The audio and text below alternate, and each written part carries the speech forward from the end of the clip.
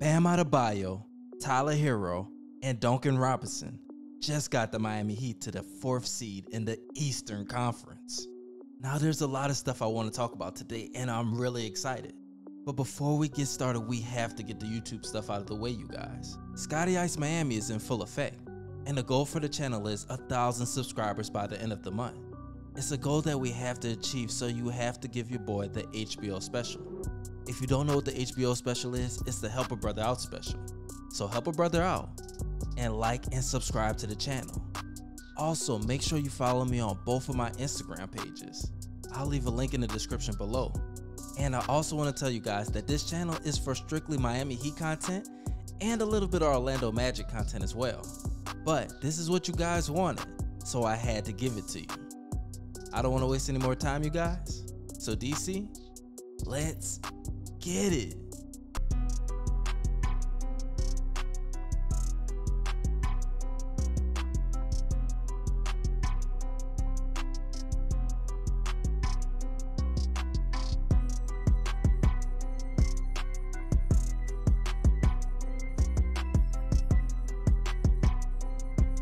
Now, you guys, the Miami Heat beat the Boston Celtics 129 to 121.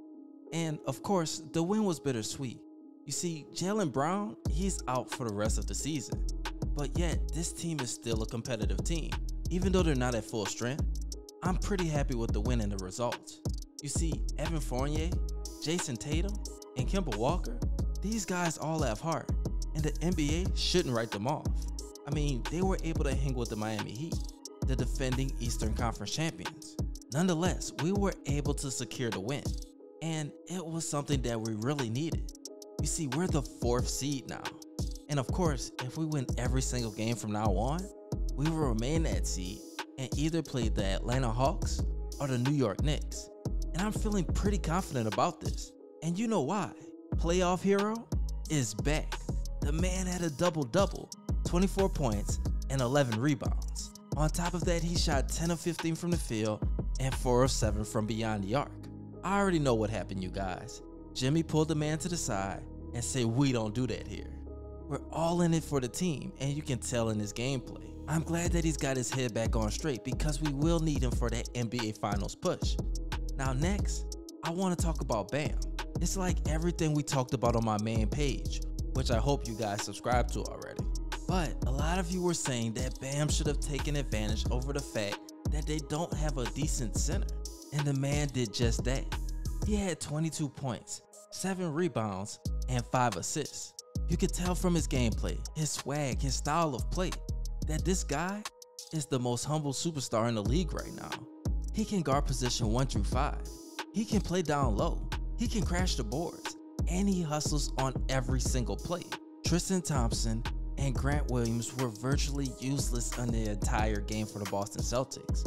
And honestly, you can't go small with this team because that's where Bam will strive in the entire playoffs. Now, if they did get a big lineup, then that's where Dedmon comes in. He'll be able to get you boards. He'll be able to score efficiently. He doesn't take bad shots. And that's what this team needed all along. Now, I'm not saying Drummond or Aldridge wouldn't have been a better fit, but the Miami Heat made a right decision with what they had left. And it turns out this guy is one of the ultimate team players, which is a part of the Miami Heat culture. Now, the last person I want to talk about, even though there's some good and bad to it, is Duncan Robinson. Now, of course, we know the good. The man lit up the Boston Celtics. He had 22 points, shot 6 of 10 from the field, 5 of 9 from downtown, and 5 of 6 from the free throw line. I mean, come on, you guys. Nobody expected this, that this man would be this good of a player. And of course, we know what this man can do. The problem with the Miami Heat team is they have too many good players. Imagine losing the game and Tyler Herro's in. He shoots 2 of 9 from the field. Now, I highly doubt it because this man is a playoff beast. You would be like, maybe I should have had Duncan Robinson in or Dragic. But honestly, Erik Spoelstra is a genius. So I have full faith in what he can do with this team. Now, what I want to talk about, you guys, besides the Boston Celtics game, you see, Duncan Robinson can get up to $20 million a year in free agency. And it's well deserved. We all know what this guy has been doing. He He's been helping the Miami Heat team for the last few months.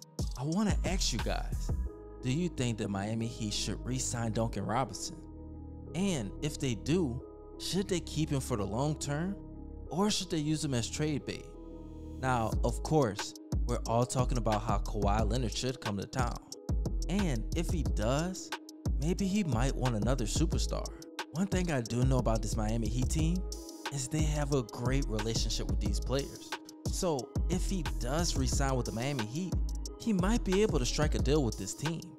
Maybe a friendly deal with probably $15 million a year, $12 million a year. I wouldn't be too surprised because Erik Spoelstra and Pat Riley have great relationship with these guys. And I mean a great relationship because I'm pretty sure whenever Jimmy Butler contract does expire, he will take a lesser deal to make sure that this team stays afloat. And one more shout out. Shout out to Jimmy Butler. He has this team together. Jimmy, he was able to play and take a break at the same time tonight because he only scored 13 points. He only took 8 shots. And any other superstar wouldn't have had that coming. You know what they would have did? They would have went out there and got theirs. You see, Jimmy Butler is more like LeBron James than I thought. Of course, LeBron's gonna go get his, but not at the expense of an NBA game. I mean, of course, this guy wants to win rings, and Jimmy has that same attitude. Him and the Miami Heat were a match made in heaven, and I'm glad that these guys paired up. Now, before I leave you guys, I have one question to ask. What do you think is the ceiling for this Miami Heat team? I ask it all the time, but since this is a new channel, I have to give it a fresh start. Now, Anyways, you guys, make sure you follow me on both of my Instagram pages. It will be greatly appreciated. And I appreciate you guys for supporting the Scotty Ice Miami page.